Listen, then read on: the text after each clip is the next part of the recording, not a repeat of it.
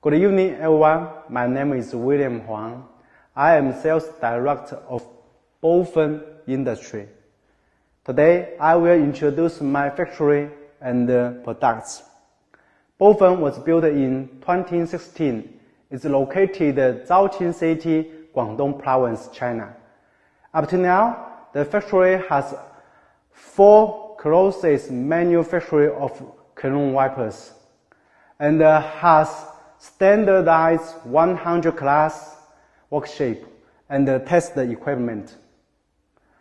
Boven is a major production of clean wipers of low materials, sheet clean wipers, and low clean wipers.